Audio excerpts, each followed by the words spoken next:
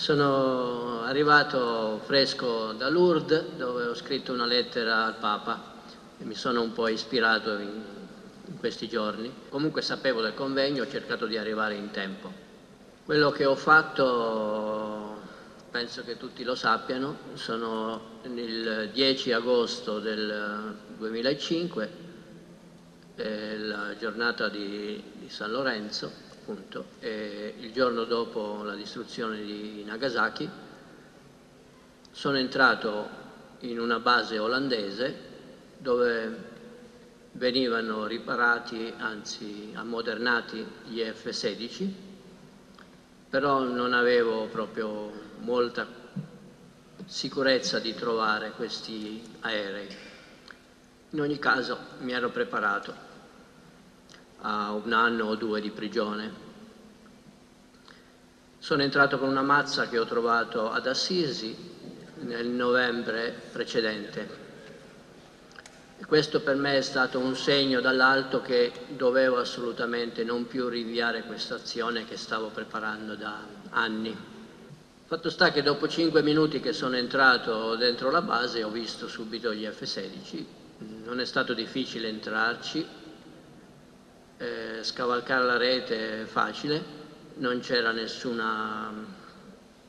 mm, controllo di, di soldati ho spaccato un, un finestrino rafforzato che metteva nel capannone e anche questo con una decina di mazzate, una mazza di 5 kg. Immaginate il fracasso che ha fatto, eh, c'erano centinaia di cani che abbaiavano dentro la base, ma nessuno si è fatto vivo. Mi è passata una macchina a pochi metri di distanza, mi sono appena fatto in tempo a nascondermi e insomma il cuore mi batteva, però insomma sono entrato. Qualcuno dice che il buco che ho fatto era a forma di cuore, almeno da una foto che si vedeva dalla polizia. E, ehm, ho trovato due F-16 invece di uno. Il primo era con il nuovo sistema eh, Orange Jumper System, sistema di comunicazioni che stavano uh, sul, come unico esemplare ancora studiando di sistemarlo. E ho ritardato questo sistema per almeno cinque mesi, sistema internazionale, e che doveva, dovrebbe essere comprato anche dalla Svezia. E, e su tutti gli F-16 L'altro F-16 era un F-16 normale, tutti e due erano a due posti, quindi ho dovuto martellare i comandi e i computer eh, di quattro posti. Ci è voluto un po' di tempo, anche perché la mazza era grossa e lo spazio sono molto stretti questi F-16, sono quasi dei giocattolini, proprio colpire i comandi e volevo colpire anche quelli delle bombe atomiche e sapete che gli F-16 in Olanda almeno sono gli unici che sono adibiti al trasporto di bombe atomiche. Le bombe atomiche non si trovavano in quella base, ma poco più in là, 40 km, eh, dove gli F-16 sono a distanza.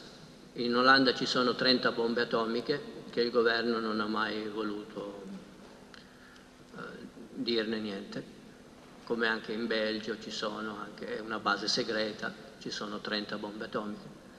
Bene, insomma, ho scritto poi per terra eh, Plowshares, che è l'organizzazione dei fratelli Berrigan, iniziata dai fratelli Berrigan negli Stati Uniti, che poi ha preso piede anche in Europa. Ho scritto quindi, trasformare le spade in aratri dalla profezia di Isaia.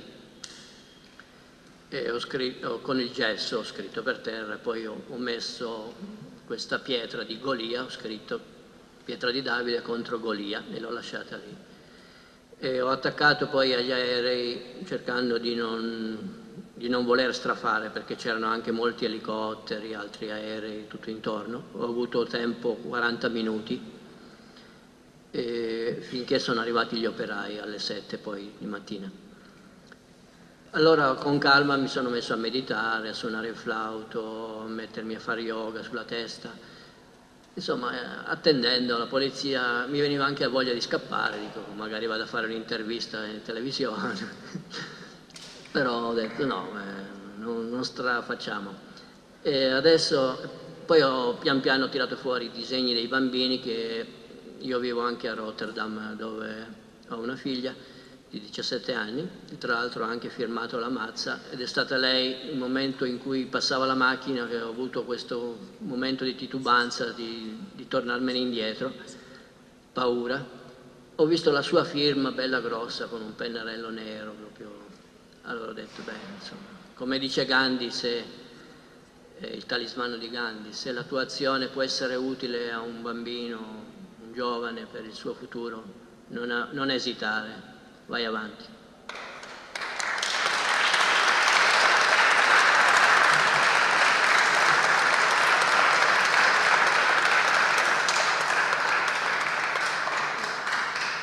Grazie. Naturalmente sulla mazza c'era anche la firma di Don Renzo, il parroco della Baita vicino a Torino dove vado spesso così, a ritirarmi, che era morto pochi mesi prima e quindi anche per lui ho, ho fatto l'azione il giorno di San Lorenzo e anche per Lorenzo Porta, nostro amico di Comisa. Così. Anche perché pensavo Hiroshima e Nagasaki c'è più controllo, se lo faccio il giorno dopo, ma anche un po' per paura, rinviavo sempre, insomma alla fine ho detto il 10 agosto comunque è l'ultima data. Buono, eh, ho attaccato i disegni dei bambini, una ventina, tra cui anche i disegni appunto, di Anneki, la nostra figlia, e, e un, uno scritto sul profeta Giona che aveva scritto Anneki, quando aveva nove anni, che ho trovato così per caso. E come il profeta Giona mi sembrava che anch'io ero così titubante, avevo aspettato così tanto tempo. Eh, ed era così, questo fascicoletto l'ho lasciato lì per dire convertitevi, insomma, no? come il profeta Giona fu mandato per convertire, la, convertire il popolo da questa strage imminente polizia, beh, poi mi hanno arrestato, tranquillo, mani in alto, solite cose, non ti muovere, non toccare niente, però mm, non mi hanno picchiato e poi nei 3-4 giorni successivi sono stato interrogato, molto gentili, e ho, ho detto tutto quello che dovevo dire, poi ho iniziato il mio silenzio, anche il digiuno, un po' mangiando soltanto frutta mi hanno tenuto in prigione sei mesi, sono stato il, giudicato il 13, sarebbe ieri, un anno fa, il 13 ottobre, a sei mesi, più 12 mesi se non pago 2 milioni e mezzo di debiti, che poi hanno ridotto a 750 mila, così, per evitare discussioni. ecco, il 27 ottobre, adesso, tra due settimane avrò l'appello che abbiamo fatto. L'avvocato tra l'altro è un ex pilota di F-16 che ha, ha obiettato all'uso del, bottone delle armi nucleari e quindi è stato mandato via.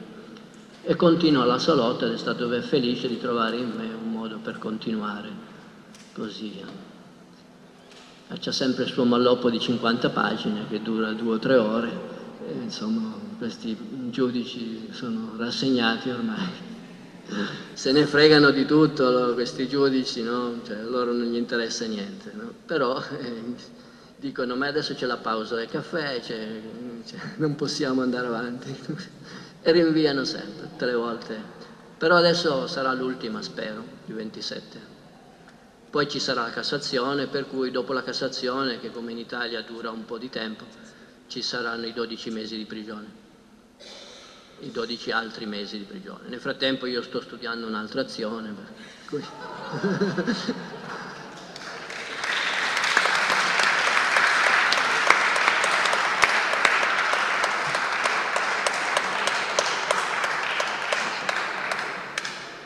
Perché hai agito da solo? Avevi chiesto aiuto di altri e non te l'hanno dato? Sì, eh, beh, tutti sapevano in Olanda, almeno tutti i pacifisti sapevano di questa mia azione che stavo per fare. Quindi tra me ho pensato, se, se vogliono farla, si uniscono. Ma hanno fatto il, il giorno di Hiroshima, loro in 15 mi sembra, sono entrati nella base delle bombe atomiche e hanno occupato la pista. A me se, cioè io l'ho saputo, a me non hanno detto niente Avrei potuto, avrei potuto, aggiungermi, però per dire io stavo preparando la mia azione, lo sapevano.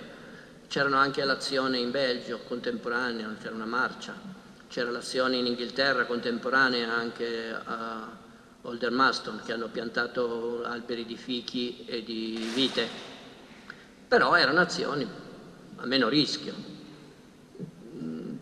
cioè per il momento non si sentivano. Però c'è state anche in Olanda altre due azioni simili alla mia, precedenti. In Olanda almeno, e poi anche prima, dieci anni prima, c'era un ex cappellano militare che era sempre in prigione. C'è... con un martello può essere giudicata anche come espressione di violenza, come risponde? Beh, dice Berrigan, non so più se Filippo o Daniel, che i beni eh, dal latino bonum sono ah, per buon fine, se non sono a buon fine non sono bonum, non sono beni. Quindi non è la violenza nostra, la violenza è loro, noi togliamo questa violenza.